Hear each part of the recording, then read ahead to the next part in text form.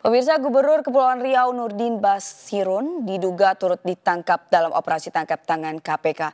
Dalam OTT tersebut KPK mengamankan uang senilai 6.000 dolar Singapura terkait proyek reklamasi.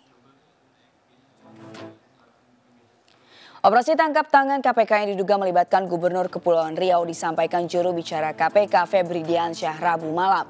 Dalam OTT tersebut selain mengamankan Gubernur Kepri Nurdin Basirun, KPK juga menangkap sejumlah orang lainnya sebanyak enam orang terdiri dari unsur kepala dinas dan swasta.